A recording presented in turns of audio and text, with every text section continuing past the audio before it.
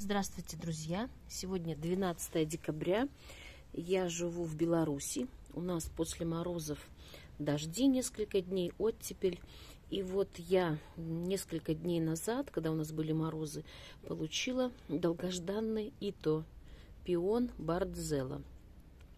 А, когда морозы, думала, куда же все-таки его деть, как мне его сохранить до весны. Но у нас земля копается, и я знаю, что не я одна такая.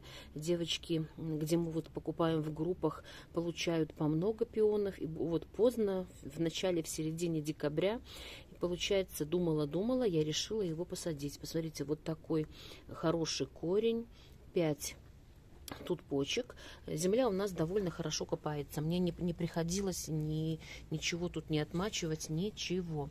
Выкопала яму не очень глубокую э, не очень глубокую, перемешала, посмотрите, с золой, удобрения никакого пока не удобряла, я думаю, что весной канавку пророю и э, этим суперфосфатом просыплю вот вокруг вот так утрамбовала, землю перемешала с золой.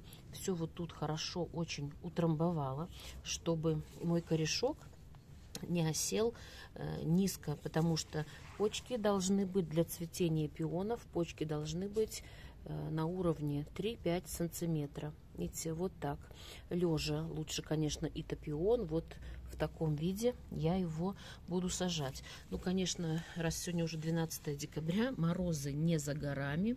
Что буду делать? Это место, чтобы не сразу э, промерзла именно, э, не сразу промерзла земля вверху, замульчирую, засыплю вот дубовыми листьями и просто укрою каким-то конусом чтобы мои собаки тут не топтались, ничего. В общем, так аккуратно сейчас положу. Во-первых, снимаю еще для себя. Посмотрим, вот как будет такая поздняя посадка, как весной выйдет мой вот это ита пион. Это ита пион Бардзелла. Видно, ой, хочу вам показать, видите, розы укрыты, розы под укрытиями. Тут у меня Леонардо да Винчи, Мона Лиза. А Бардзеллу хочу посадить. А, вот тут у меня Э, метельчатая гортензия диамантина будет на штамбике. И вот возле нее хочу видеть этот итопион. Видите, вот так уложила, чтобы уровень было не ниже, чем 3 сантиметра. Закопаю, засыплю этими листьями, чтобы не замерзали. Ну и будем ждать весны. Сейчас сделаю и покажу вам.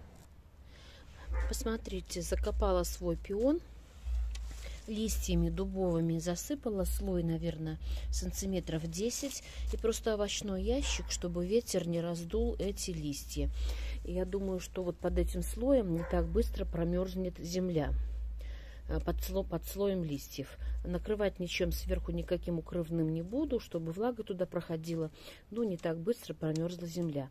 Если бы я все сажала это, естественно, пионы не нуждаются в укрытии.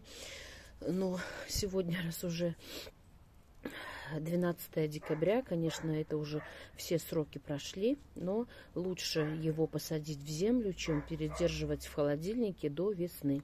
Ну, весной посмотрим, что у меня получится с таким экспериментом. А всем девочкам, которые сажают сейчас пионы, еще даже некоторые еще ждут у нас в Белоруссии с этих совместных закупок.